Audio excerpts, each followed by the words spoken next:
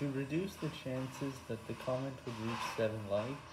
I decided to change the order of the comments from top comments to newest first on two videos, and this is just to decrease the amount of likes on that comment, with 6 likes. So this way, it would look a little bit nicer,